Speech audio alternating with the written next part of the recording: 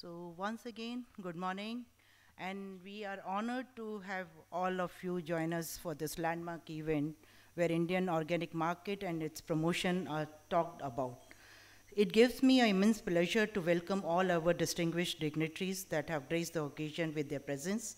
We would like to welcome Chairman APEDA, Shri Abhishek Dev, and uh, Mr. Uh, Vipul Mittal, National Cooperative Organic Limited, Shri Pankaj Agrawal, Managing Director, Treta Agro Private Limited, Mr. Anil Jadhav, Regional Director, South Asia and Middle East, uh, EcoCert, Mr. Krishnendu Chattopadhyay, Vice President, Agrobusiness, Nature Biofoods, Mr. Kapil Malviya, Business Head, Organic ITC Limited, and our knowledge partner, Ms. Priyanka Uday from CRISIL.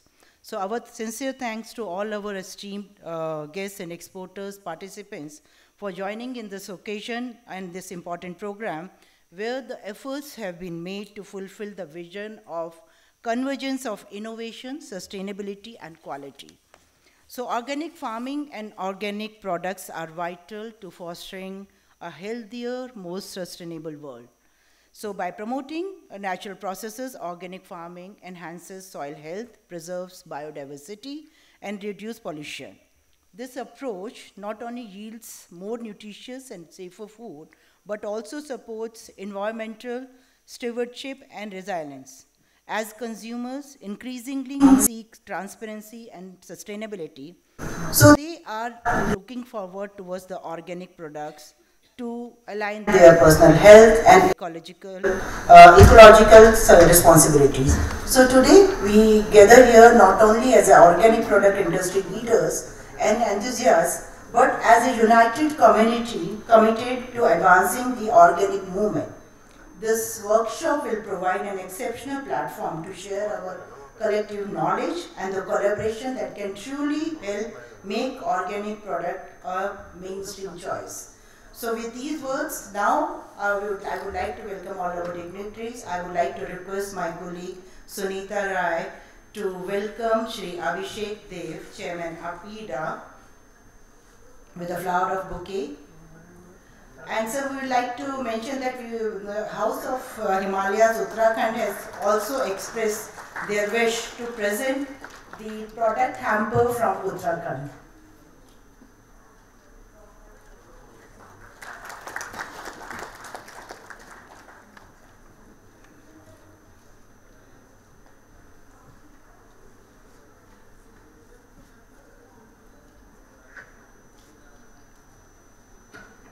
So again, I would like to request my colleague Sunita Rai to welcome and felicitate Shri Vipul Mittal, Managing Director, National Cooperatives Organic Limited.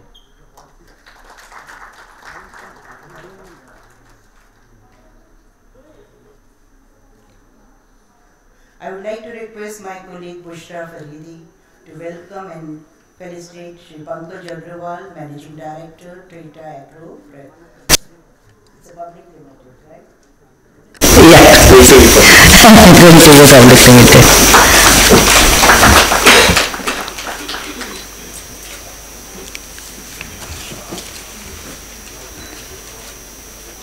In fact, this is a hamper from your region only. now I would like to request my colleague Sandeep Shah to welcome and uh, felicitate Mr. Anil Jadhav, Regional Director, South Asia and Middle East EcoCert.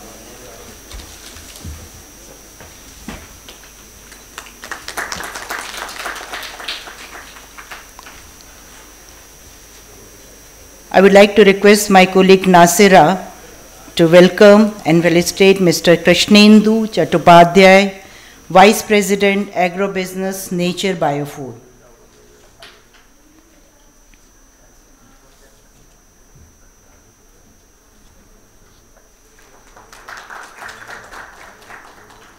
I would like to request my colleague Bushra Faridi to welcome and felicitate Ms. Priyanka Uday, our knowledge partner from CRISIL.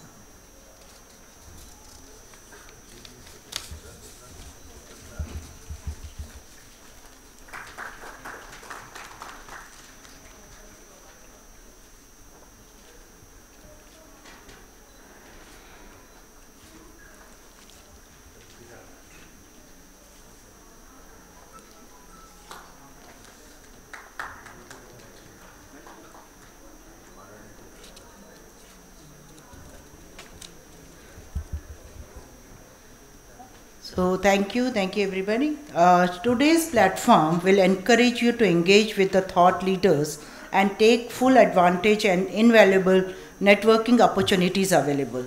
Thank you for being a part of this workshop. Your presence and participation are integral to the success of this event and the continued growth of indus- organic industry.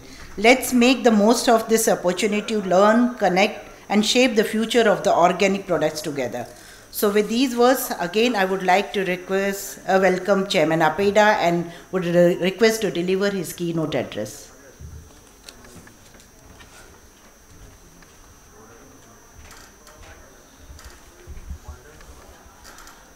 Thank you, madam, and uh, very good morning to all. Uh, first of all, I would like to thank uh, all the distinguished uh, panelists who have uh, consented to be a part of this workshop, and I would also like to thank uh, the uh, uh, audience who this morning have braved the daily traffic and made made it in time for this workshop.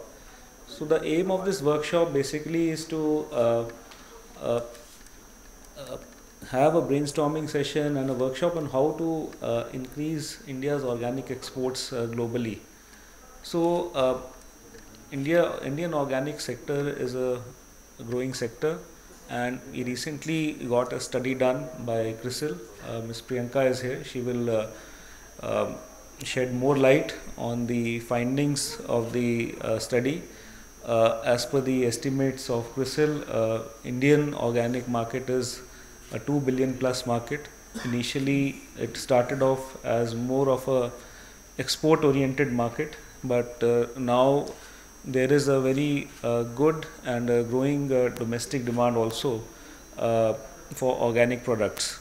So, APEDA, as the secretariat for the National Program for Organic Production, is a key stakeholder uh, in the organic ecosystem.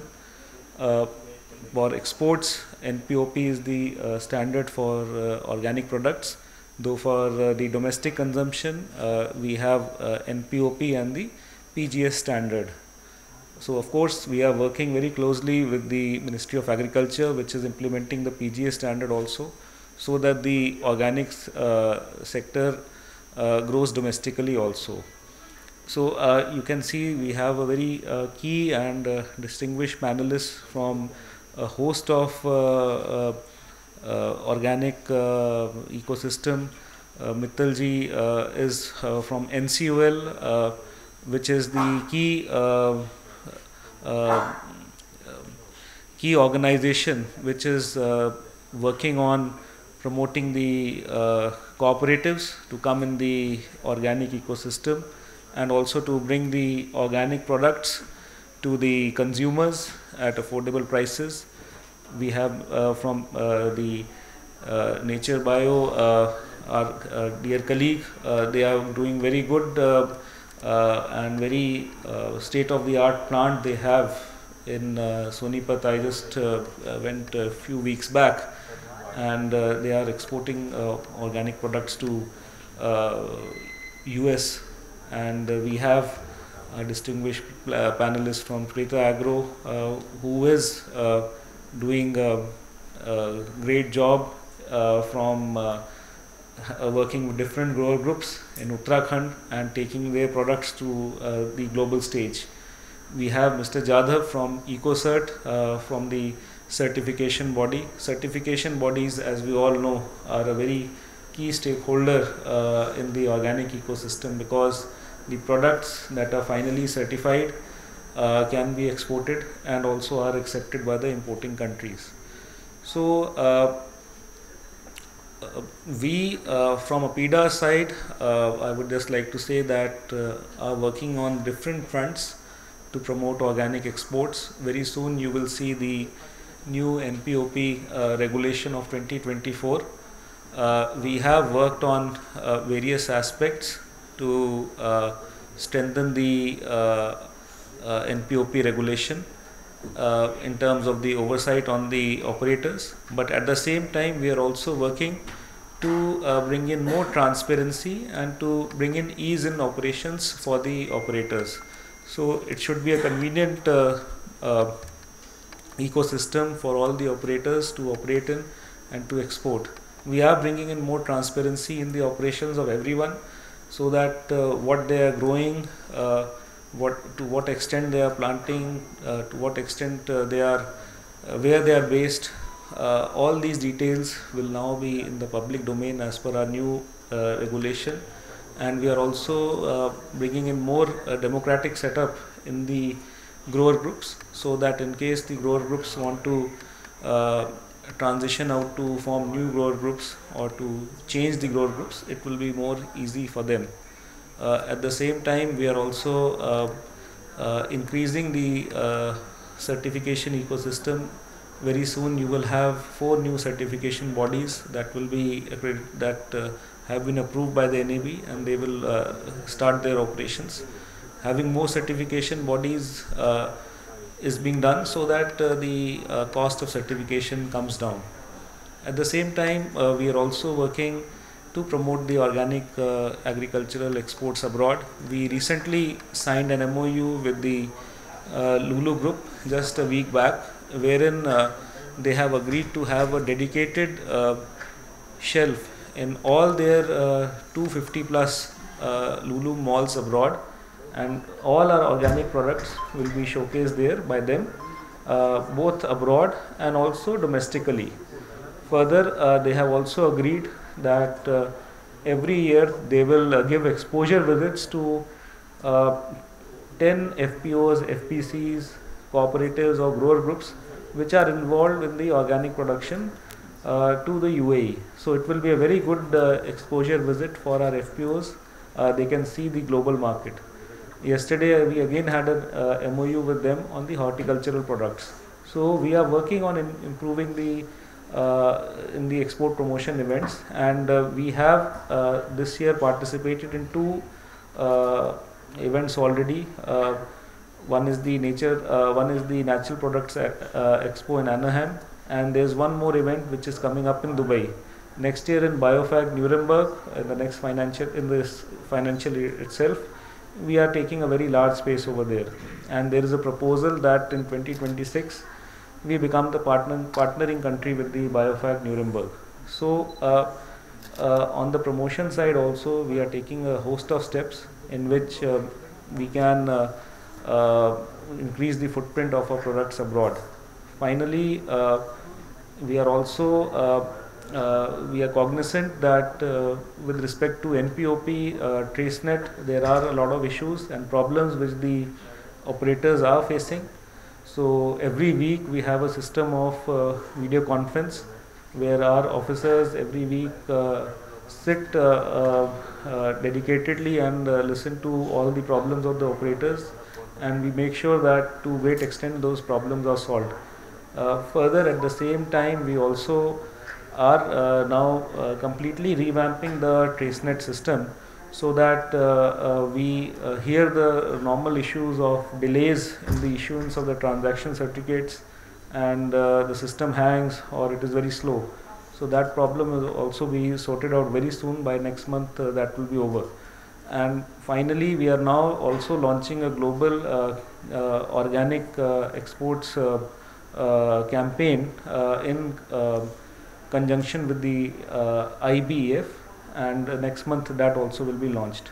So uh, I thank all these key, all our panelists, distinguished panelists who have come together for this workshop and also the uh, all the uh, people, uh, all the stakeholders who are attending this workshop. we would request that the discussions are a two-way discussion. If some panel, some uh, stakeholders from the audience if they want to ask questions they should also be allowed to uh, ask there should be some time for that.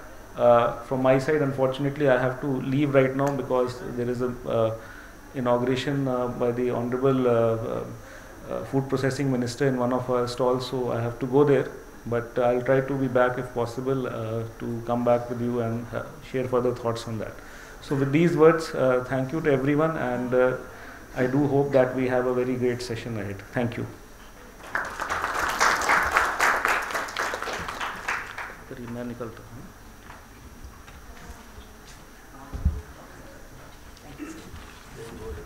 Uh, thank you, sir. Sir, you have rightly said that the domestic demand is also increasing for the product, uh, for organic products, and this shows uh, the consumers' awareness about the organic ecosystem. And I'm confident that today's platform will pave the way for collaboration to make more uh, to make organic products as a mainstream of uh, choice of not only uh, mm, in the global market but in India as well.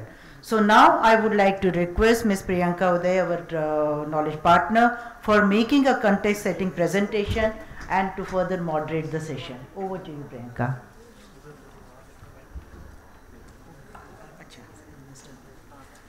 So I would also like to welcome uh, uh, Mr. Kapil Malviya uh, from the ITC. I would like to request my colleague Sandeep Shah to present a bouquet and welcome him.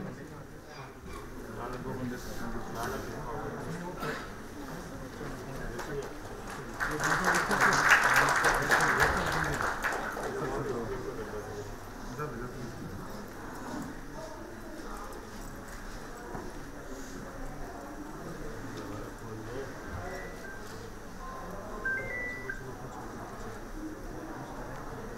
Sandeep. Over to you, Priyanka.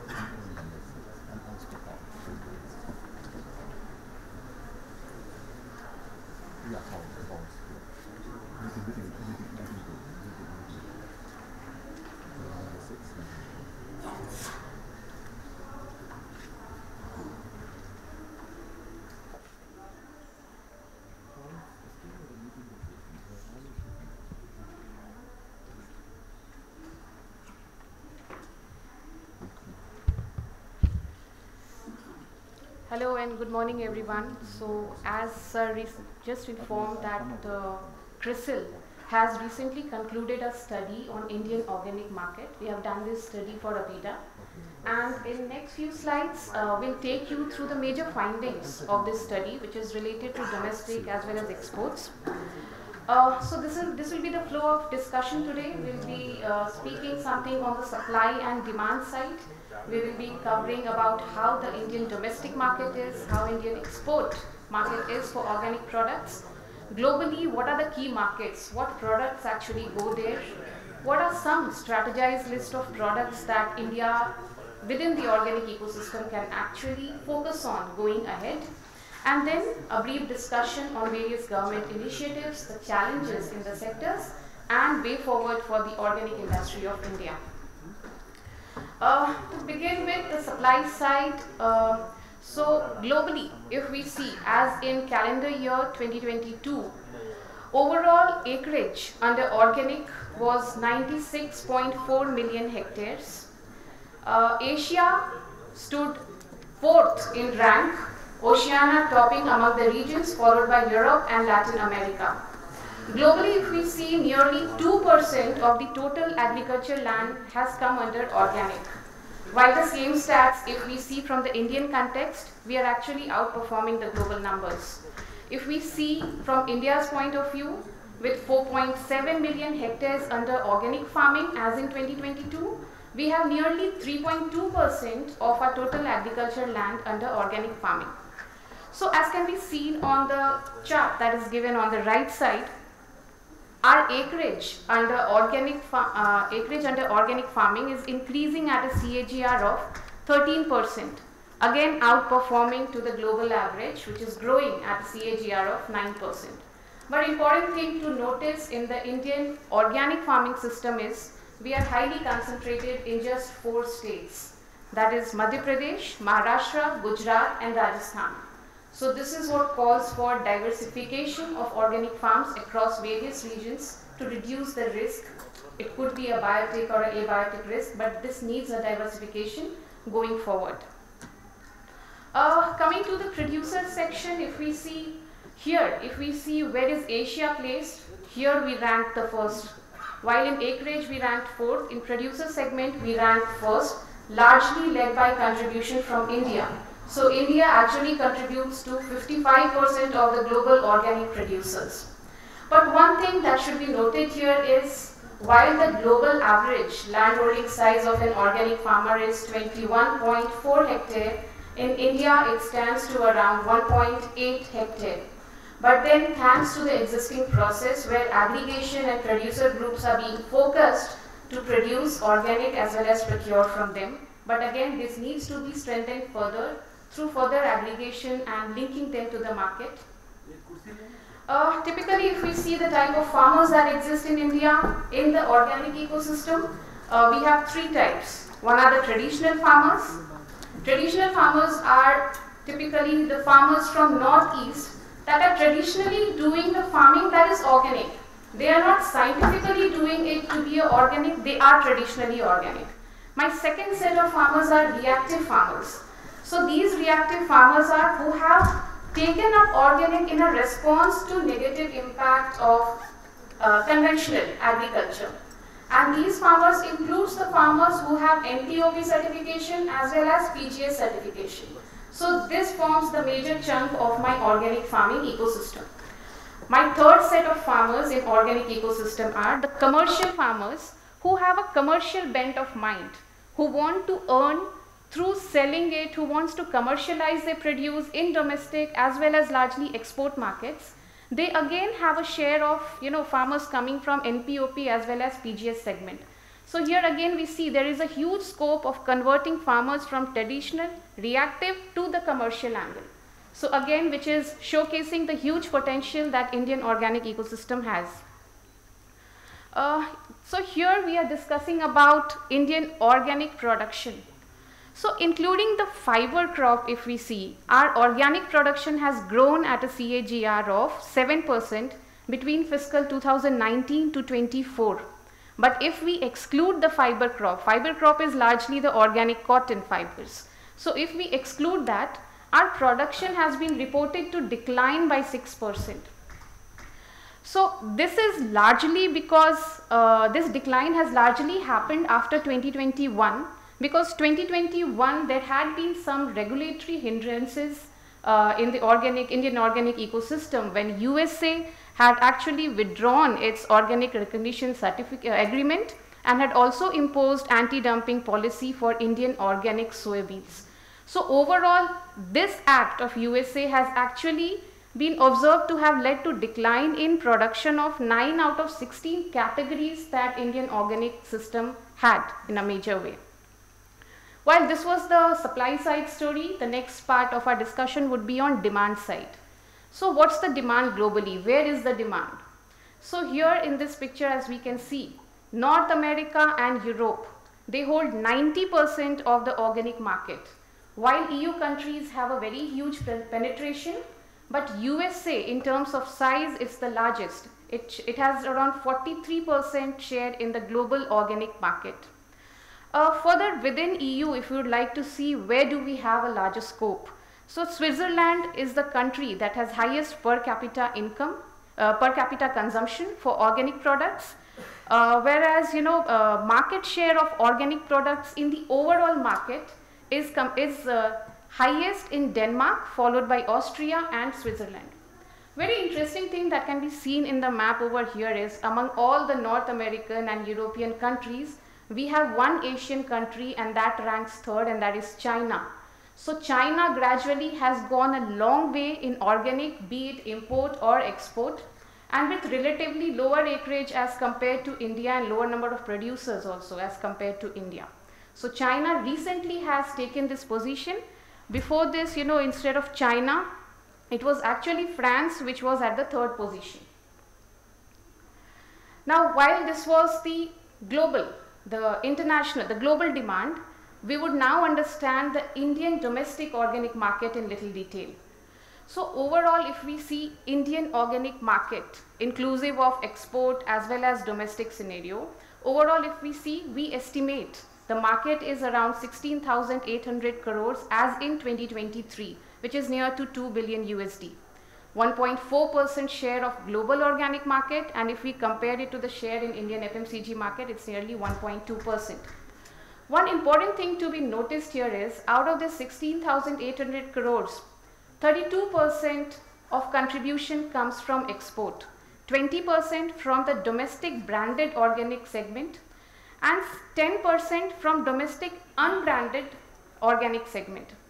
So rest of the 38% that is being produced in the country is actually, it never enters the organic route. It is sold as conventional due to lack of adequate market linkages. So again, as you can see, this 38% can also come back in the organic ecosystem through a proper, proper uh, strategy that can be set up for the market linkage. Uh, as we can see here, the Indian organic market between 2019 to 2023 has grown at a CAGR of 17%. While if we see the global average, during the same period, the global organic market has grown at a CAGR of 8%. Typically, if we see, you know, when did we grow the most? It was the pandemic time, 2021, wherein Indian domestic organic market witnessed a growth of 21% and thereafter it was a success story as you can see in the graph we have kept growing in the domestic area. Within the various product categories that is there in the domestic market, pulses ranked first with 22% share followed by cereal and millets, spices, edible oil, dairy and then comes fruits and vegetables. So these nearly contribute to 75 to 80% of the total organic market domestically. Uh, if we would discuss about what are my channels, where from where do I get, from where do customers actually purchase these organic produce. So 40% of the contribution comes from modern trade, followed by 35% from the general trade and 25% comes from online marketplaces. If we would see what was the contribution of online marketplaces pre-COVID, it was merely 10. So the pandemic era has actually boosted the organic market as well through the e-commerce platform. Uh, going ahead, you know, if we would like to discuss that currently we are at 60, uh, we are at, uh, you know, a certain number for the domestic market. How do we see it going ahead in the next 10 years? So for that, we need to understand what are the drivers that is actually pulling up my organic market. So among the drivers, the very first one would be the health cautious individuals. How are we seeing this population growing? So we are seeing this population to grow at a CAGR of 8% and reach to around 317 million by 2033. Again, organic product is something which is very concentrated in the urban, urban area. How is my urban population growing? We are expecting it to grow at a CAGR of 2%, reaching around 600 million by 2036. Similarly, people who earn more than 10,000 USD per annum, that is the target range that actually the key organic market globally keep when they target, you know, where they should export. So considering the same benchmark for Indian scenario also, we are seeing that this segment of population is expected to grow at a CAGR of 14% and reach about 165 million by 2030. And then of course monthly per capita expenditure that again plays a very major role and we are seeing a healthy growth there too. As a part of study, we also conducted a small customer survey, consumer survey. Uh, we interacted with around 1200 consumers across 10 cities of India to understand the purchase behavior, to understand what is actually pulling them towards organic or what is actually hindering them from growing towards organic. So overall, if we see when we ask that, how do you identify that a product is organic? They say we look for some logo. They, they definitely, so my 66% of my consumers say they look for logo, but then they are not completely aware of what is the meaning of different types of logo. So that is where an awareness needs to be created. If we say what percentage of your overall grocery budget are you currently giving for organic? So around 38% of my respondents said less than 10%, but another 38% of my respondents said my share of organic expenditure in total grocery budget is between 10 to 25%. And 44% of those again said we can further increase it by 10 to 25%, but given an assurance of traceability, we can given an assurance of trust that we are buying a real organic product. So people are willing to purchase. Like we can see here, when we asked, you know, how did you initiate the organic consumption? Pulses were the first crop that was being that has been, you know, tried by maximum of the consumers during our survey, followed by tea and jaggery. What consumers are actually looking for, but they are not getting, is fruits and vegetables, which they are willing to pay. They are willing to pay premium, as can be seen in the pie chart on the right hand side, lower right hand side. So 57% of them say that organic with the type of benefits it gives, we are ready to pay a premium for it. But then assurance is required, a traceability is required.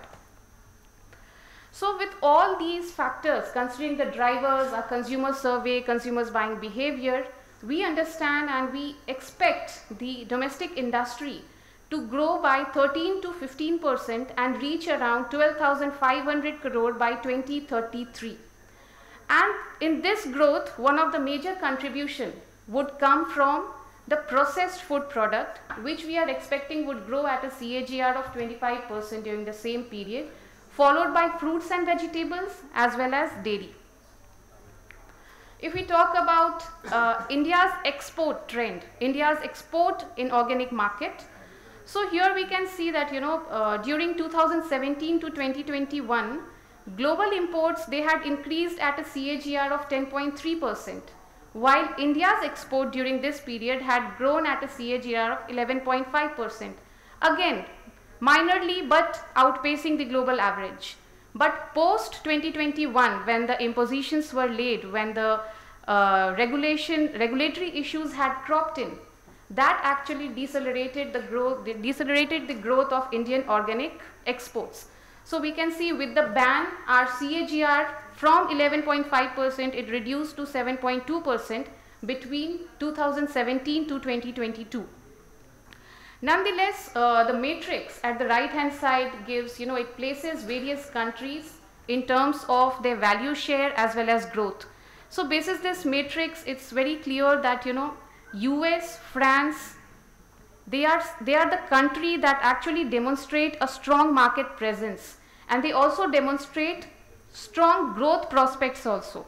While the countries like Canada, uh, Czech Republic, Korea, these are some countries wherein, you know, while their market share, their value share would not be that high, but the growth is quite good and they again are some promising zones where we can strategize our products going forward. Uh, this again says, you know, like we can see the trend that is being shown pre and post regulatory impositions on Indian organic. So if we see, you know, between fiscal 18 to 2021, uh, at value level, we were growing at a CAGR of 21%, 28%, which has now declined to minus 22%. But then we need to understand that it's temporary, it's a regulatory issue. Once solved, India is in a complete readiness to again capture the market and get back to the trajectory. Uh, these are the top five uh, uh, countries uh, where India exports the organic products. So of our total exports, US has 49% share, followed by EU, which has 33% share. Canada and UK have 4% share each, and Switzerland has 2% share of our total exports that India does. Globally, again, US and EU. These are the top two markets which every country is focusing on. So if we see, you know, in US exports, imports, so in 2022, US imported nearly 21.7 lakh metric tons of organic products. So of this, if we typically see what was the major contribution from which product, 46% contribution was coming from organic tropical fruits and within this 46%, 25% share was of organic bananas, which India uh, is currently strategizing to focus on going ahead. Similarly, if we see EU, out of 27.3 lakh metric tons of uh, you know organic produce that they had imported, 32% share was from organic tropical fruits, of which again 32% share was organic bananas. Ecuador, uh, Dominican Republic, Peru, these are the key exporters to EU. Considering, you know, what is the demand at the key or key, you know, organic destinations and how can India play, in which crops can India play? So here we have strategized. like this particular matrix actually tells like the first one, product India has large play. It says that these are the products where India has strength and these are the products that is in global demand. So for these products like soy meal, rice, sugar, coffee, mango is where we can play very large. Second one says that global demand is there, but India is currently not focusing in a very big manner. So, but again, here where we can strategize and put forward, so these are the product list coming in the center. And then third part is where India is a brand. We have a brand like for millets, for medicinal plants, for spices, where we can do big and has global demand also. So considering categorizing the products into these three categories, the focus products that has been identified by us are banana, ginger, RTE, medicinal plant, millets, fruits and vegetables. Now here are some of the initiatives by government in terms of uh, Paramparagat Krishi Vikas Yojana wherein they facilitate production of organic produce, establishment of cooperative society for export promotions like NCOL and NCEL. There are awards and recognitions also to motivate the farmers. Uh, there are several initiatives that APEDA has taken in this direction like dedicated organic promotion division to promote organic exports, uh, APEDA has also put up efforts for collaboration with trading partners like mutual uh, recognition agreement with Taiwan was implemented in July 2024 and they are also engaging in talks with Australia and South Korea to establish similar MRAs. Organic foreign trade agreements are also being negotiated with United Kingdom, European Union, Peru, Oman to name a few. And as sir, as sir just informed, you know, they are also renovating the NPOP to make it more user friendly, to make it more easy for the entire organic ecosystem. Some key challenges uh, that you know that that may be structural but can be you know addressed are production related challenges. It could be related to availability of bio inputs. It could be related to availability of bio inputs. Uh, it could be related to awareness about those things. Uh, the second important challenge is market linkage in terms of market linkage. So currently, as we said, you know, the average land holding size is quite low. 38% is getting sold in the conventional market. So how is market linkage going to, uh, you know, that's an important challenge to convert this 38 into the organic ecosystem. Lack of proper facilities in terms of processing, infra, again, that needs to be focused. And then promotion related, that's very important because we said they see the logo, but they don't know what that logo is about, which logo will give them the maximum assurance. So promotion, awareness, these are some very important facts that currently needs to be focused uh, to promote the organic. Uh, so basically, yeah, uh, way forward for organic industry would be promote organic export by focusing on strategic products, which I just mentioned, and targeted regions, intensifying the MRAs, promoting India organic brand, which sir said that they have already taken some steps in this regard, globally as well as in domestic area, develop proper infrastructure, especially for processing, because we are seeing RTE is going to have a major role going ahead. So that should be kept in uh, focus.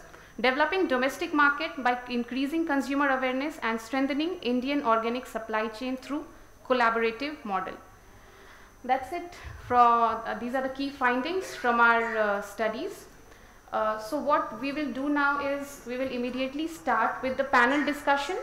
So once the panel discussion is done, then the floor will be open for question and answer session.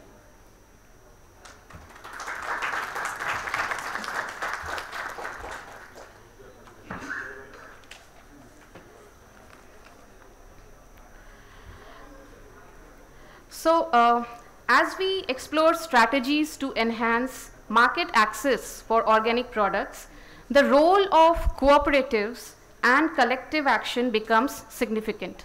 So in this context, I would like to pose next set of few questions to Mr. Vipul Mittal, Managing Director, National Cooperative Organics Limited. So sir, uh, my question is, how can National Cooperative Organic Limited support small scale farmers in accessing organic markets and certification? Typically the small scale farmers. Hello.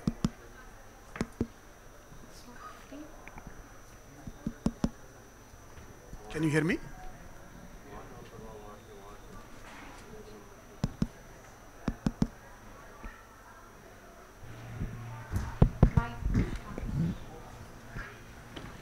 So, uh, thank you, Priyanka, for that uh, very insightful uh, presentation. Uh, I will take back the audience to the first few slides which you showed. Uh, if you see the Indian uh, cultivation of organic, is 3.2 percent, cultivable land of organic is 3.2 percent as against a global average of 2 percent, right? India has 55 percent of the global producers, uh, organic producers uh, are in India, right? So, uh, to my mind, India has a very unique uh, ecosystem which I think we all understand, but I would just like to underline the same. Uh, on one hand, you have a very large number of uh, organic producers. They are having very small land holdings. And also, if you look at this data a little more critically, so 96 million hectares is the total organic land in the world. But three-fourth of that land is pastures.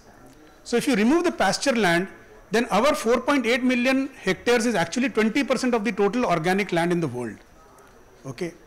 On the other hand, when you look at the product wise cut which uh, Priyanka showed during the end of her presentation, there is a very interesting mix of products. So the products being traded globally are a very different set of products than the products which are being looked at in India. For example, see, for example, pulses. Now in the export slide, pulses was nowhere there. Whereas in the domestic slide, pulses is right at the top. So I think uh, we as NCOL, which is a very recently formed uh, entity by the initiative of the Union Cabinet uh, in the cooperative sector, we are a multi-state cooperative society. Uh, we are mainly focused on linking these smallholders farmers of the country to the domestic market. Because our understanding is that if we bring in the benefits of the organic market to the producer, then there will be more motivation for the producer to grow more and more organic products. And that will further enhance the entire ecosystem entire, uh, around the organic industry. And this is further, you know, accentuated by the fact that almost uh, uh out of that 16,800 uh, crores of organic market, 48% uh, is actually going as conventional, right? So to coming to your question, Priyanka, our approach right now is that we have built a brand called Bharat Organics, right? So we want this brand to stand for authenticity and affordability, and that is going to be our mainstay, uh, you know, strategy to link the to, to, link the farmers with the uh, consumers under the cooperative network.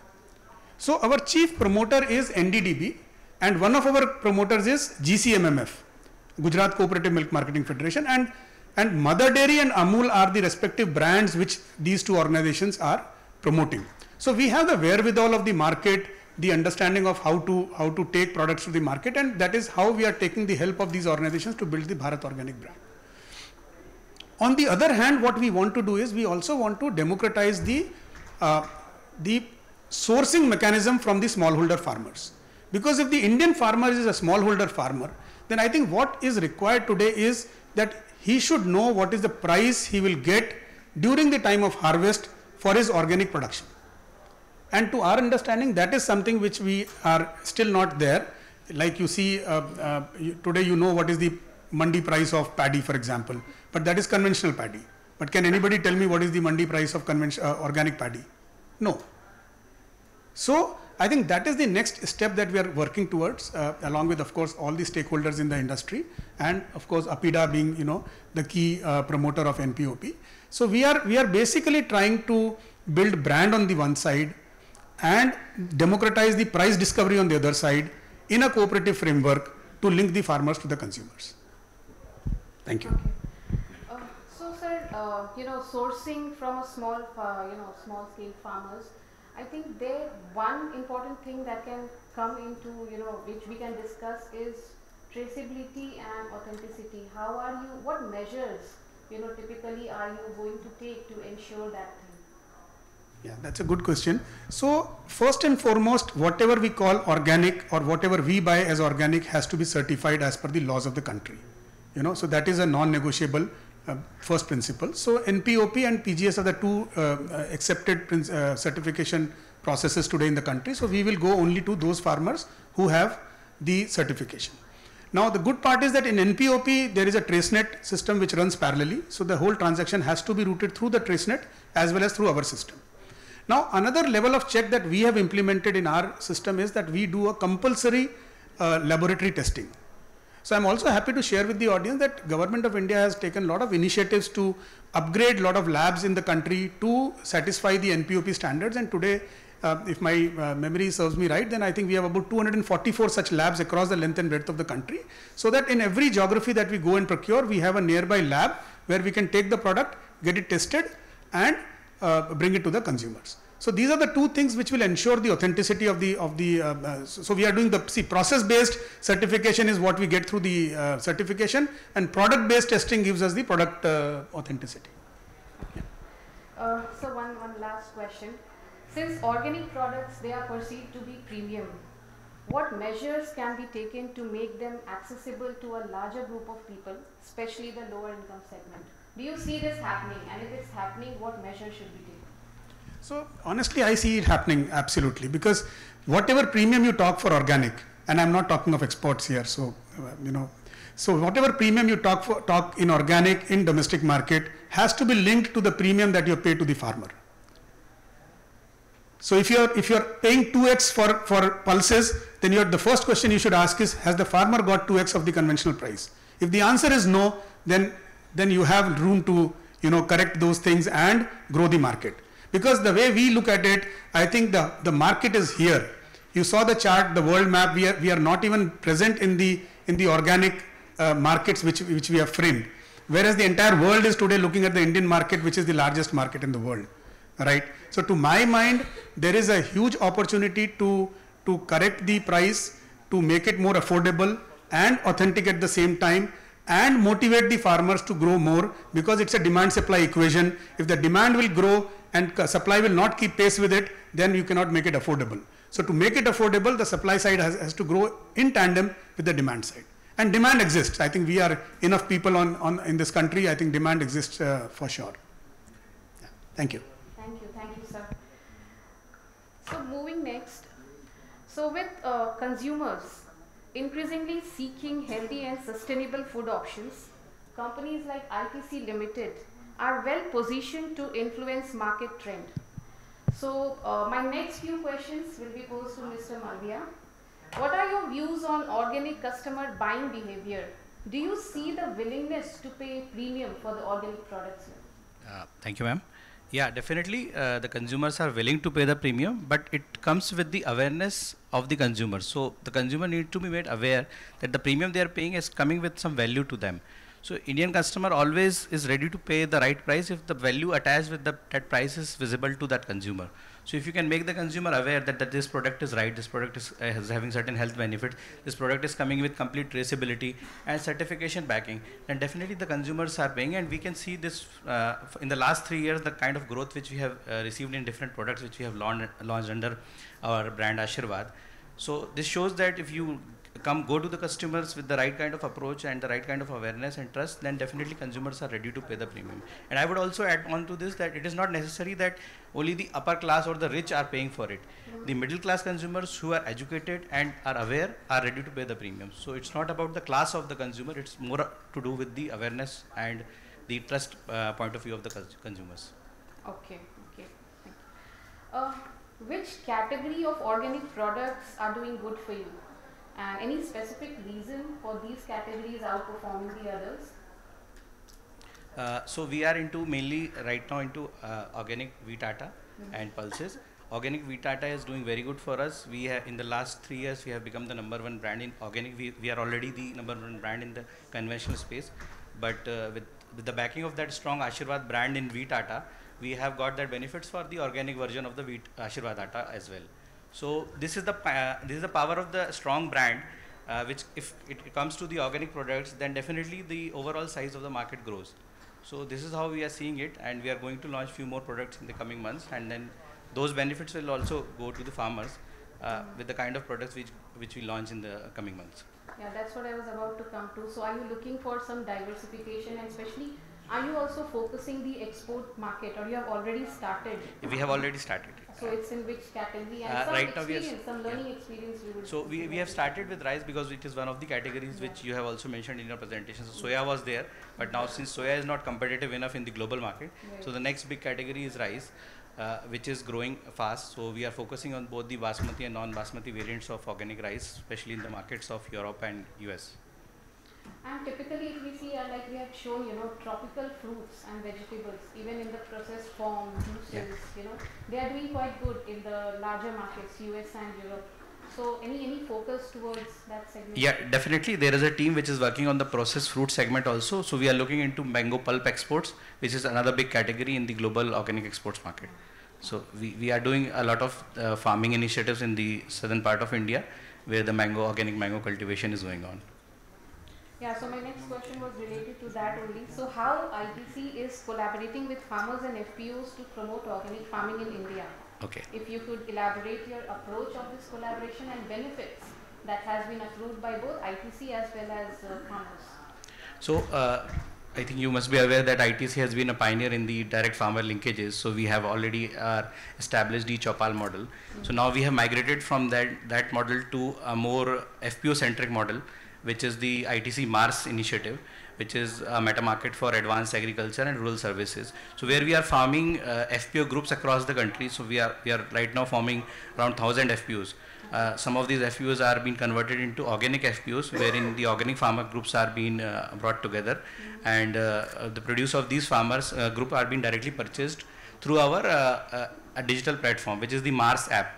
So herein we are giving the farmers uh, not only the physical direct advisory services, but the digital services through the through the app, so they can get the crop advisory services, the right kind of agri inputs which are required for organic farming, and then a platform which uh, uh, Vipul sir has already mentioned that the farmers are not aware the, about the right price of the organic produce.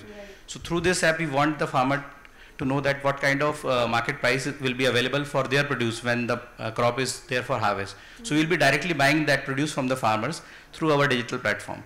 So this will help them not only in uh, producing their crop with efficiency, but also eliminating the middleman so that they can realize better prices. And in a way, the company will also benefit because we will get the right quality, right prices because there will not be any middleman and uniform quality, which is very much required for any brand to sustain and grow in a, in a market. Thank you so much. It was quite insightful. Uh, moving ahead, as India's organic industry continues to grow, company like Treta Agro Private Limited, which is well known as Just Organic, are playing a vital role in promoting Indian products globally. With its expertise in organic farming, processing, and export, Treta Agro has established itself as a leader, leading player in the industry. Uh, so, with this context, now next few set of questions will be posed to Mr. Uh, Pankaj Agarwal from uh. So, sir, what are the strategies to enhance the penetration of Indian organic products in domestic as well as global markets? Because you are dealing in both these segments widely. So, some strategies. Yeah. so, um, you know, both the markets are different. Domestic market, Indian organic domestic market is very different from the, uh, let's say, US organic market or a European organic market. And I think the set of strategies is also very different when you talk about the organic penetration. If we talk about the domestic market, of course, domestic is the largest opportunity. You know, India is the market that everyone, every brand in the world is looking at. But I think these strategies have to be more around creating the awareness, creating the trust, and more importantly, creating that factor where it doesn't hurt to buy organic produce. And for that, the whole chain has to be uh, taken care of.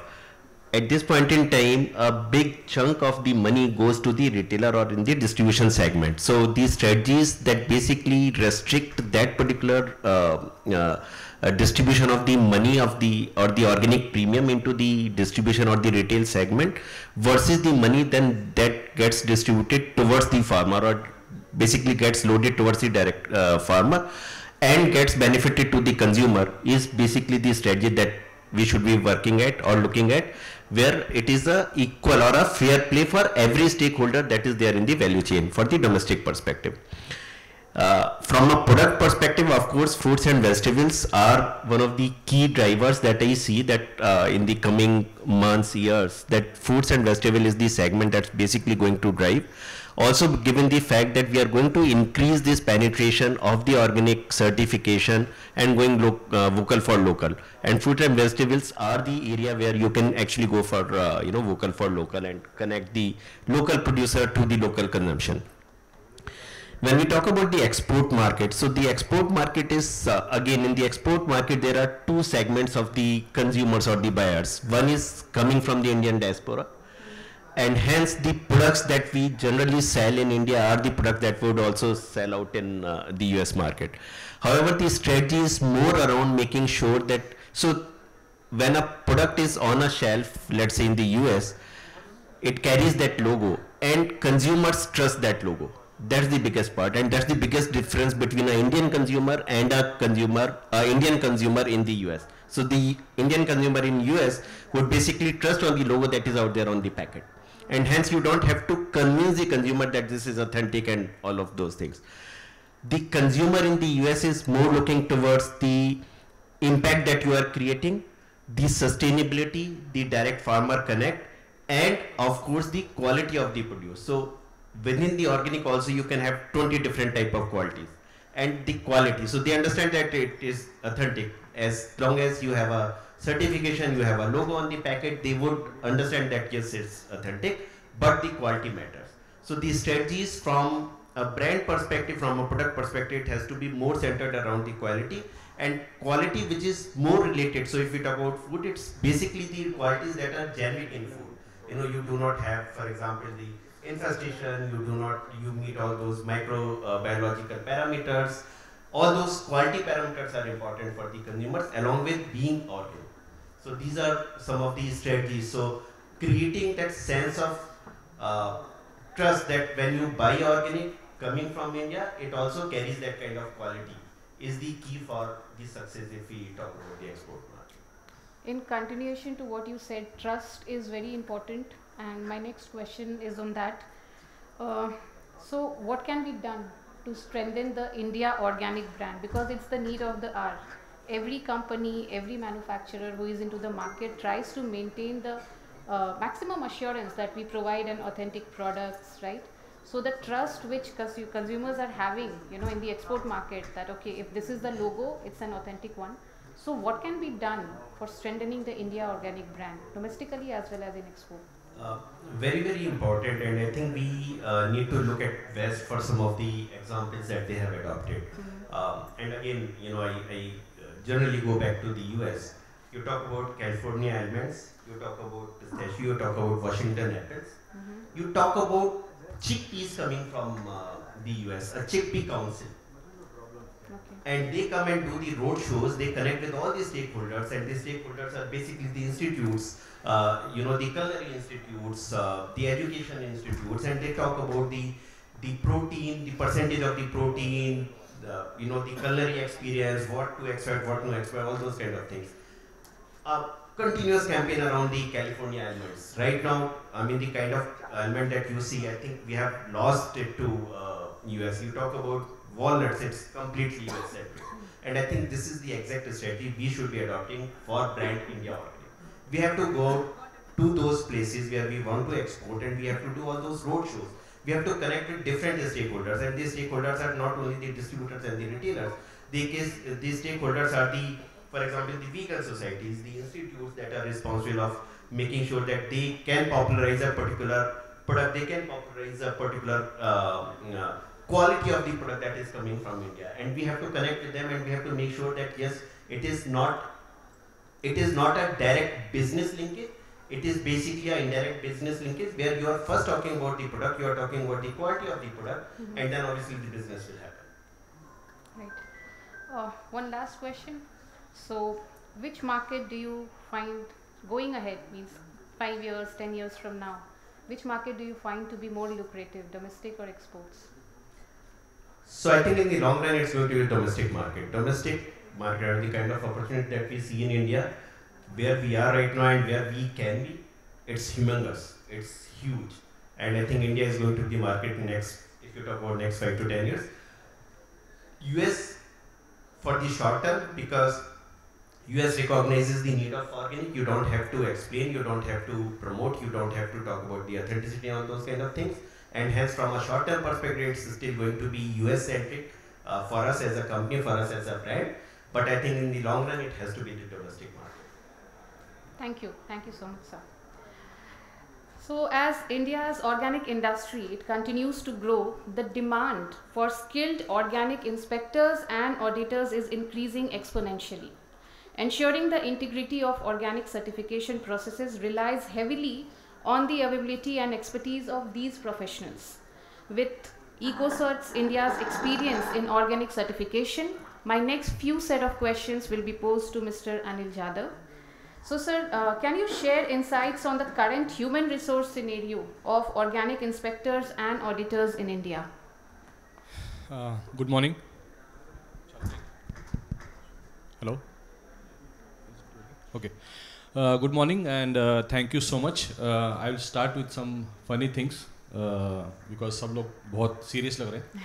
So ये बहुत rare है कि किसी certification body को business related activities के लिए बुलाया जाता है नॉर्मली जो बुलाया जाता है प्रॉब्लम्स होती तब बुलाया जाता है so I am very happy to be here talking about future and business and opportunities so I am going to divide this question in three parts first is what is the current scenario in India, what is the manpower requirement. Second is if there is a requirement which is huge, what are the avenues or areas from where we can pick these people.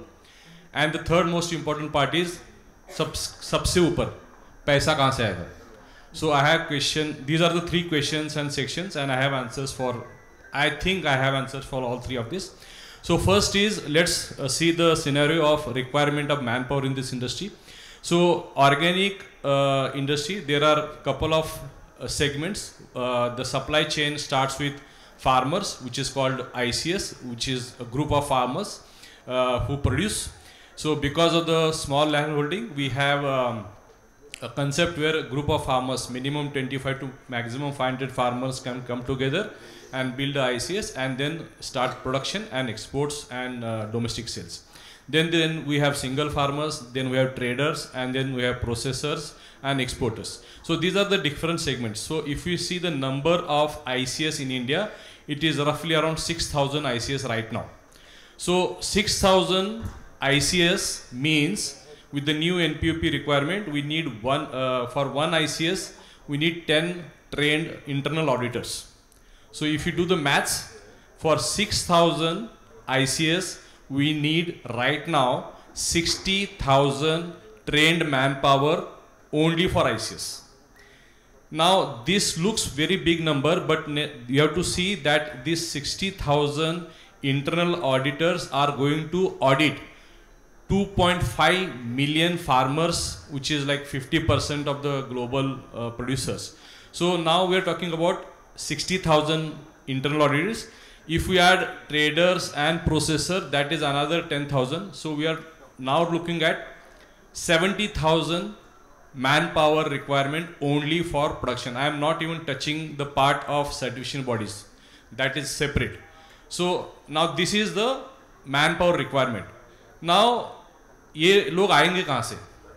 So if you see anybody from agriculture university here okay so correct me if my data is wrong so there are seventy four agriculture universities in India sixty five of them are state agriculture universities and around four are deemed universities annually two point five U G and around 50,000 UB uh, upper education. Uh, this th- 3 lakh people are participating or entering the agriculture universities across India the average in last five six years 65% people pass out or they go uh, they qualify and get out which brings the number to 2 lakh people who are out of the universities qualified the unfortunate part is out of these 2 lakh students which are coming out of the university only i am saying only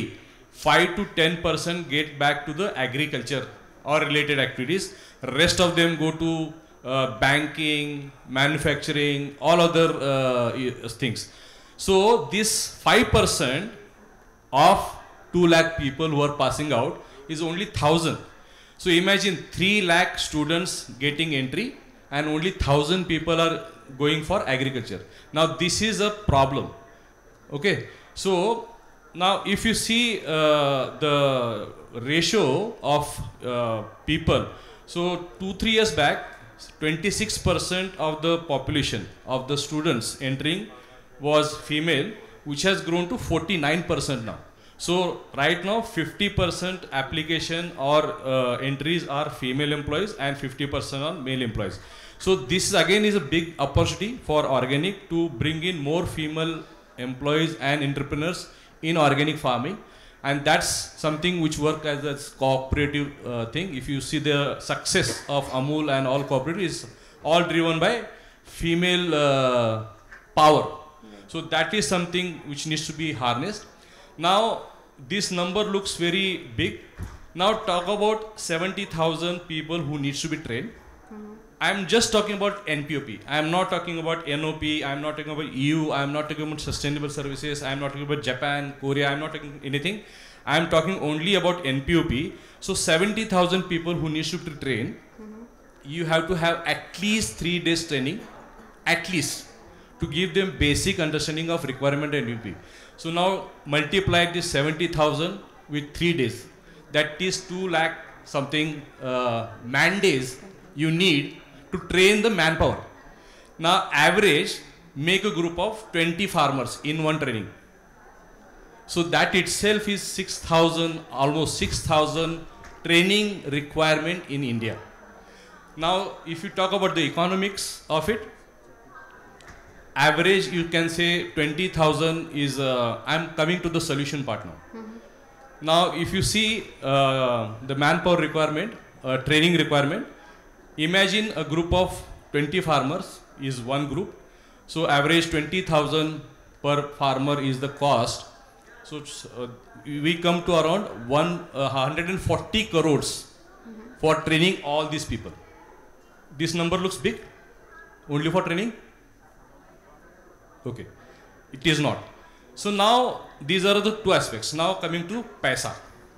So India में एक अच्छी चीज़ है सी S are जो fund है so any company who is making turn over more than five hundred crore they have to spend two percent of their net profit on C S R now if you see the C S R funding in India forty percent of C S R money is spent on education, uh, sorry, on health and uh, sanitation. 38% of that money is spent on education, which is basically primary education, not the uh, skill development, uh, not the professional one. Only 8% of CSR money is spent on skill development. That is the uh, data of 2020-2021. Now, how much is the money available in India? So in 2020 and 2021, it is some. It was something around 28,000 crores. Uh, 2022, 2023, the fund available under CSR was 30,000 crores. Now, if you take out 140 crore money required for training, is only 0.5 percent of the CSR money. So we are talking about a mechanism where government of India, APEDA, producers, exporters, nobody has to spend any money. That money can come from CSR. There needs to be some tweaking done on how to uh, utilize that money on CSR fund. So that money can actually go in education of farmers and supply chain. If you see the top two expenditures coming or uh, uh, done from corporates on CSR, uh, this sanitation and health and education that directly doesn't translate into turnover or economic developments of communities whereas this training and investment of money will certainly generate in income for farmers. So this is point number one about the scenarios. Now coming back to what is ecocert uh, Doing. doing uh, In here in this scenario. So we saw this five six years back as a group. So everybody here knows that EcoCert or any third party certification comes once in a year. Uh, rejected or pass, we give a certificate, we don't give certification and we go back and we meet next year. So EcoCert decided to position ourselves as a solution providing company rather than a certification company. That's why we did some acquisitions of companies who were expert in training and consultancy. Okay. So three years back, we started a discussion with Akola University in Maharashtra, Okay. and with partnership of um, with partnership with Akola University, we developed a one-year diploma course for uh, organic and sustainable farming. 30 students participate and passed one-year course, and it was not just theoretical, but it was a practical plus theoretical, and they were sent in the farms for actual training. And I'm very happy to tell you that out of 30, EcoCert selected three, but they didn't join because they wanted to go for higher education. But out of 36 students got job in uh, industry. Uh, there are, you know, uh, uh, two brothers in Pune. So they have taken some of the uh, students and they have also went in some trading companies. So 6 out of 30 is almost 20% of the uh, people who have got this certificate got job in the industry. So there is a scope and I met all the exporters and they say we need 10, 20, 50. The requirement is used, availability is there, but we need to have to bridge this gap. So thank you so much. So one, one more question for you. So uh, how can this data which is collected during organic certification process, how can this data be leveraged to connect certified farmers or producers with buyers and the key markets? Yeah. So again, I'm going to refer your presentation. So basic data is available. What is requirement? So if you see India's uh, scenario, the market is mm, uh, dominated mainly with pulses or something uh, non-perishable, but the demand is for fruits and vegetables. So this itself is a good data. So the data which is collected by third-party certification that can be put in a centralized database. Uh, right now, I don't think that is possible. So it should look very uh, user-friendly. People can actually go and uh, see which are the areas and farmers producing these uh, crops, and then this will also promote India's organic because that's the most authentic way of identifying the certified farmers, and this will actually push out all the farmers and companies who are using organic but they are not organic. So this is how the data can be used. Second is very important, the data which we collect from global, uh, what are the issues faced by different product categories or the processes. That data can be a learning for the farmers and producers in India so that those can be avoided. So if you take example soybean, cotton or whatever issues we had in the past, mm-hmm. that becomes a learning curve for the industry. So this is how the data can be used. And third important part, which is very important for the industry, is interpretation of standards and requirement. So this is where third-party certification companies like EcoCert and other, they can help to educate and tell them what are the interpretation of requirements and why it is required. So if we address this, I think the uh, future is very bright. Thank you, thank you so much, sir. This was quite insightful. Uh, moving next, uh, Indian organic product export is currently majorly bulk packed, means 95% of the total exports that being done is in a bulk form rather than detail packaging, retail packaging. So in this regard, I would like to put my next set of questions to Mr. Krishnendu Chattopadhyay.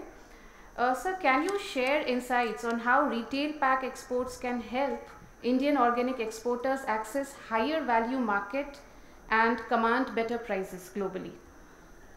Ma'am, thank you for asking. Uh, let me take a minute to uh, to send my greetings to APEDA Chairman Mr. Dev, uh, Mrs. Shubhanshu, General Manager, uh, General Manager APEDA, the fellow colleagues and dignitaries here, my panelists. Uh, First of all, ma'am, if you look back, like what is the global market size of organics, uh, we are hovering around uh, around uh, point uh, uh, say 500 million US dollar Indian exports, and the global market is you know 138 billion US dollar. So that's the vast uh, that it has. And if you compare the packed uh, retail products, which is actu- at around uh, 15% of global market, what Mhm. sells in, in global markets, 15% sales in packets. So that is what the opportunity is for Indians. So there is two opportunities, growing big in the global market, growing big in domestic market, which is a very, very vast uh, field. And entire world is watching India as the most lucrative markets, marketplace.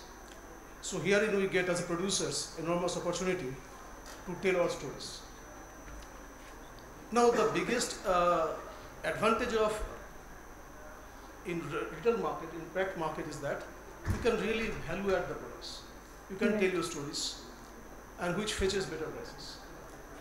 While in a bulk packaging, uh, often the material does not reach the consumers as it is because it either goes by the intermediary uh, uh, uh, business uh, houses or mostly in bakeries. Retail marketing and the retail brands and the packed products actually reach to the consumers who feel uh, good about it when it is able to establish itself the value and the value faces, the prices that it demands from them.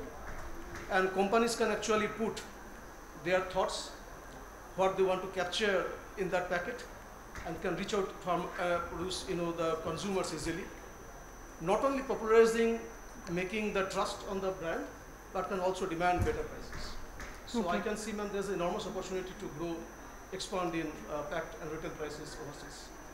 But sir, uh, what are the key challenges in transitioning from bulk to retail pack, especially for the export markets?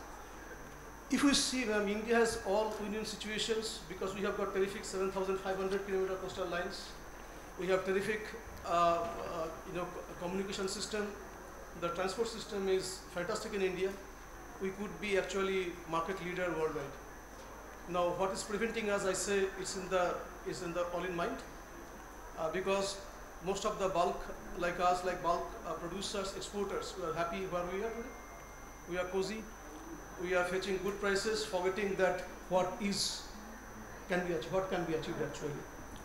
Like if you see the difference uh, prices between the bulk and the consumer prices can often reach beyond 20x. Mhm. So that is the that's the value creation we can add. You know, like consumer packs have to be built up on a story and a brand, and India, uh, I mean, i- is is a quite a sad story that Indian brands are not globally recognized, and we do not have any brands of food which ranks even in 50 in the world market. In fact, like uh, if you see like the all the brands that dominate today, mostly are in US, and naturally, if you see the global organic market is 49% US only. A single country of US demands 49% of global production, and of which 35% is packed. It's a very enormous figure. Compared to that, like if you consider this, in spite of this huge number of farmers and farming areas and the production that we have, we do not have any brands ruling in the world or ruling what? Splashing somewhere in the world also. It's not the saga for only organic food products.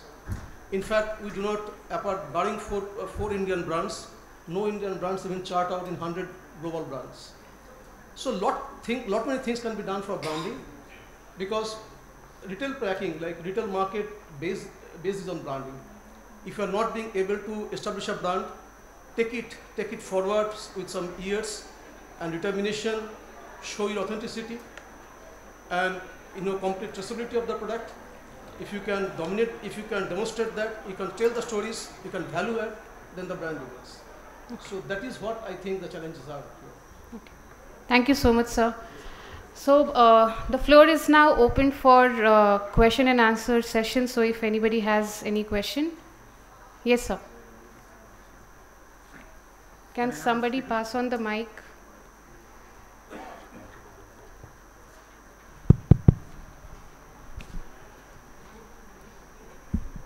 Uh, hi, uh, my name is Pankaj Sharma and I run a baby food company, organic baby food company called Hapa Foods.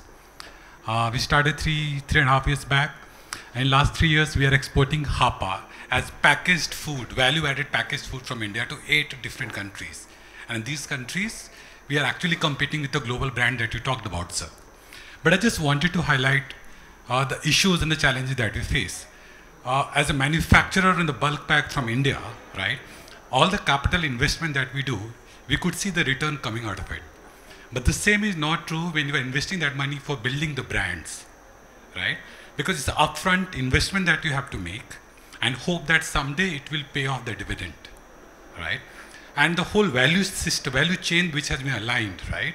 It doesn't favor that, right? Now, how do you see a brand like Hapa Foods, right, uh, go out globally? Globally, we compete with the Nestle's of the world, Gerbers of the world, right? We're beating them in some of the markets. But it's a huge investment upfront. Uh, how do you see an Indian brand like us going out and creating a name for itself? Because I'm sure you would understand it's a big, big, big investment, right? The communication, the visibility, everything is there, right? Do you have any solution for that?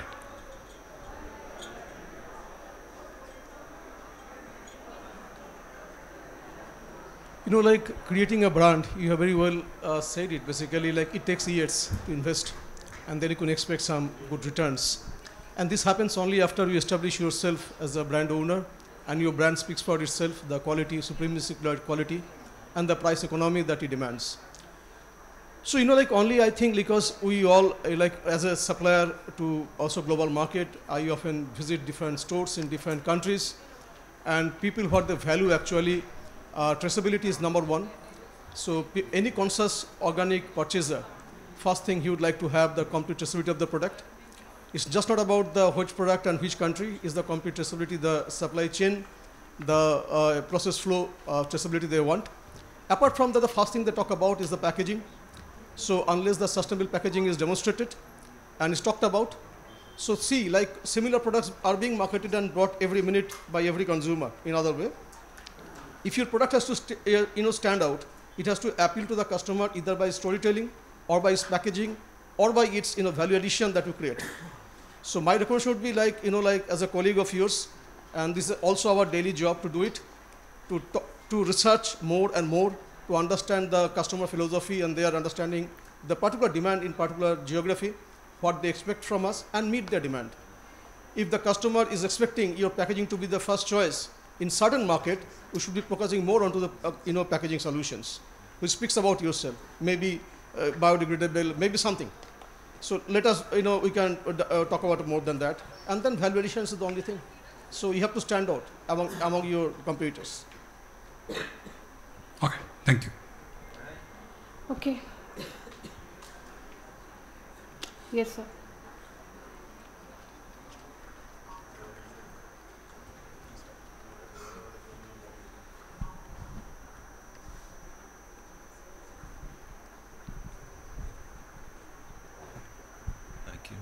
Uh, my name is Sanjay and I am from Just Organik. Uh, I just want uh, panel to throw a light uh, that uh, on a planet we are the largest populous country in, in, the world. in a short while we will be become third largest economy. we are growing at a very healthy GDP rate, but when we see our domestic market, it's still very very minuscule as compared to the size that we have. So uh, I want to know uh, from the panel, throw a light. You know, uh, I feel this is a challenge actually. Uh, also, we see that you know there is a, a sort of uh, uh, organic produce is perceived as a rich, pro-rich product, or or you know the panel talked about the premium 2x. I feel it is also high in that way. also, going ahead, we need to expand the market so that's not happening. It's not becoming a mass product or mass revolution. So I feel there's a uh, needs a massive investment is required to aware the consumer. I just want to know the, what what the panel is thinking about, how to grow the domestic market, to make it you know uh, organic a mass movement uh, in the country. Thank you.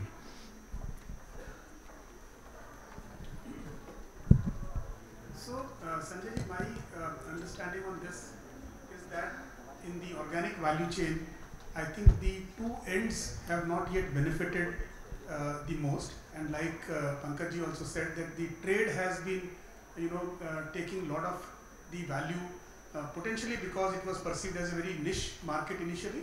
But today, as you rightly said, if this is a large market and a large potential, then the middle chain has to take the similar value what they take for a conventional product and the majority value has to either pass to the consumer or to the farmer.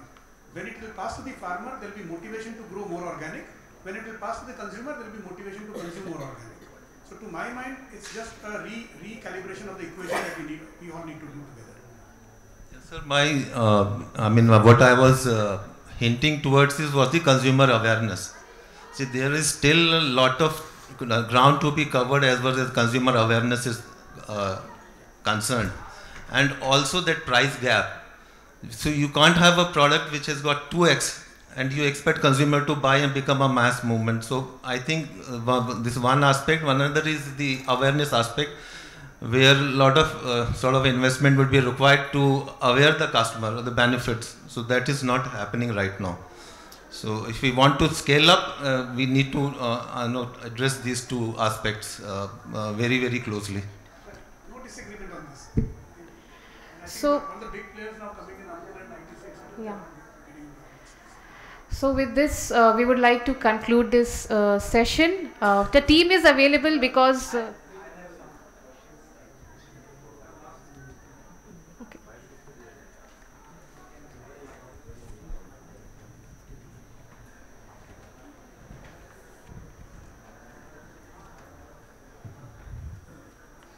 My name is S.N. Divedi and I am the founder of Elwood Organic, which is uh, in organic and uh, we are also in dairy, which is uh, Bharat and Dooth products. So we both the uh, verticals we are promoting it.